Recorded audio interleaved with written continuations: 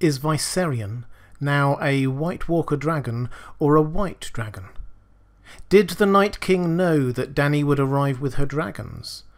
What is the significance of the mountain shaped like an arrowhead? And what did Beric mean when he told Jon that neither of them would experience much joy in this life? Hi everyone, this is Robert. Welcome to In Deep Geek. Please do consider subscribing if you enjoy the video. This is my Q&A video for episode 6 of season 7. I'll be answering the most popular questions put to me by my patrons and in the comments section to my videos. Let's start with a question from Mr. KG Dickey. Is Viserion now a White Walker dragon or a wight dragon? This is actually not a simple question to answer because we do not know all the mechanics of how people or dragons are turned by the Night King. But from what we have seen with humans, White Walkers are created by being converted while they are alive, for example with Craster's sons. The Wights, on the other hand, are dead bodies that have been reanimated. For example, when the Night King reanimated all those who had been killed in the battle at Hardhome. So, if Viserion were a human, then the answer would probably be that she is now a wight. But Viserion isn't a human. She is a massive magical creature once thought extinct. And there are some hints that the Night King didn't use the same process he uses for reanimating dead humans.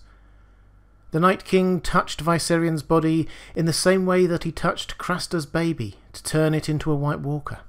And Viserion's eyes now seem a deeper, brighter blue than the Wight's eyes are. So maybe this is different.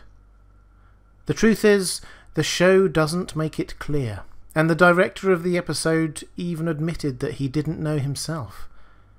Personally, I don't think it would be right to label Viserion as either of these two options. The show probably won't go into details anyway, which is probably fair and actually adds to the mystery. The White Walkers themselves were a lot scarier when we had literally no idea of what they were capable of. I think we should instead just create a completely new category of Ice Dragon, because it is completely unlike anything we have seen before. We literally have no idea yet of what an Ice Dragon like this can do, what powers it has, what it retains from its previous existence as a normal dragon, and so on. Dragons are different to everything else in Westeros, so Ice Dragons should be too. For once, I'm enjoying not knowing exactly what is going on here, and I'm looking forward to finding out more. Oz Johnny and Jarindeed and lots of other people ask if the Night King was actually laying a trap for the dragons.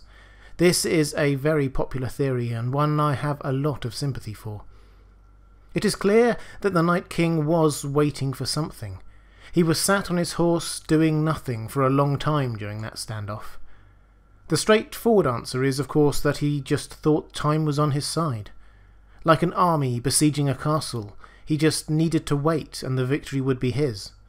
Eventually the ice would freeze over or the humans would freeze to death. But this ignores quite how powerful an individual the Night King is. And although his face is not the most expressive in Westeros, you might expect at least a double take when three fire-breathing dragons arrive to burn his army. But instead he just takes one of the spears that he brought with him and takes aim, as if none of this was a surprise, and this is actually the reason why he brought those spears in the first place. But how could he have known? Dany only just decided to fly up there. Well, I think this takes us into the realms of visions and magic. We don't know the full extent of the Night King's powers, but we do know that he can see when other people have visions of him, as he did with Bran last season, and take full advantage of it. And we also know that someone did have a vision of this very battle, Sandor, back in episode 1. So it is entirely within the powers we know the Night King has, and is typical of the kind of tactics he uses, for him to use Sandor's visions and adapt his plans accordingly bringing a load of spears with him to kill the dragons he saw, with a view to turning them afterwards. Who knows, maybe he even saw Viserion plunge through the ice and decided to bring some massive chains with him as well, just to help him haul him back up. It's a bit wibbly wobbly, timey wimey, seeing yourself doing something in the future and manipulating events in the present to make it happen, or change the details of what happened, but it's not dissimilar to the kind of time loop we've already seen with Hodor's storyline. So it's certainly not beyond the story writers. So, yes, on balance, I think the Night King probably was waiting for the dragons to arrive. In my explained video for episode 6, I pointed out that the mountain we see in the background of this episode, that the Hound saw in his vision, was also in the background of Bran's flashback to the creation of the first White Walker. Some eagle eyed viewers like Kelly Zahara have pointed out that it is also in the background when the Night King brands him. So, what does this mean? Well, I think there are a few things here. First, we should be clear on geography. The battle that we saw in episode 6 appears to have taken place on the south side of this mountain. At least, that's the direction Jon and Co are coming at it from. And the flashback to the Children of the Forest appears to be from the north of the mountain. So we came within a mile or two of the main characters setting foot on this sacred place where the White Walkers were first created. And the White Walkers are presumably now in possession of it.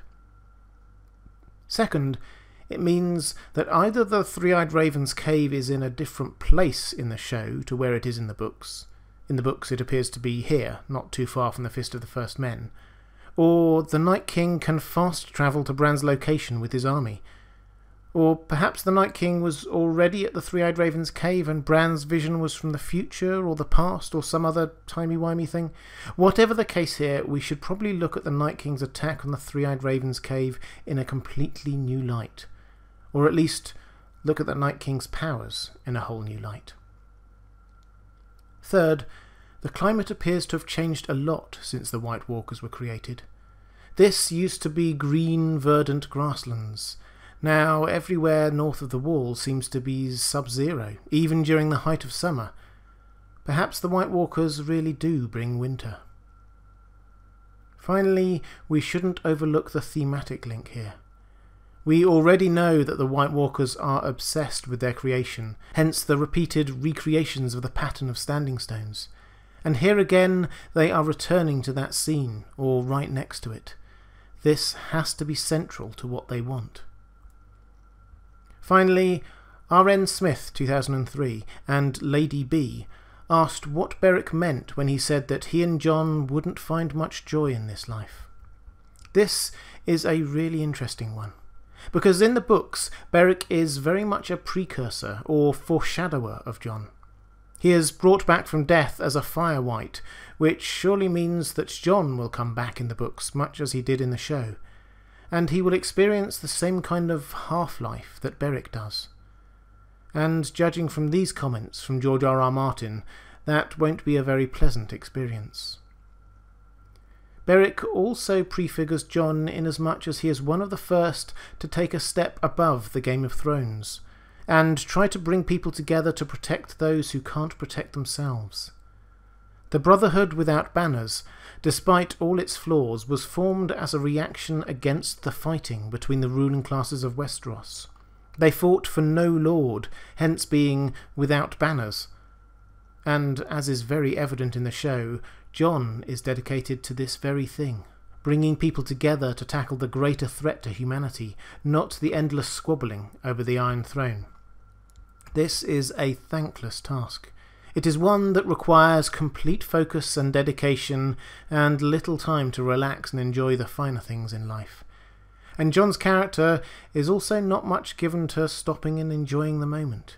He accepts the burdens of responsibility with a heavy heart and a grim determination.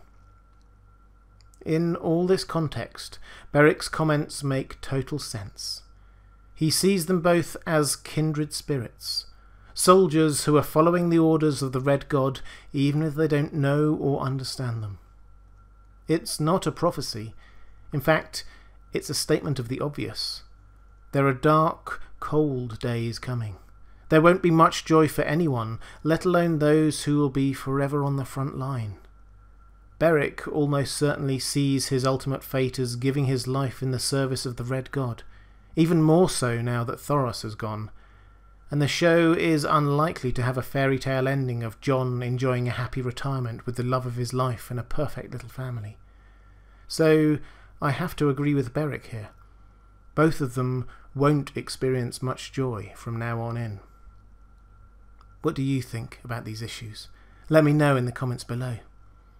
If you'd like to support me in making these videos, the best way to do it is through Patreon, and I've got a great community starting to grow over there.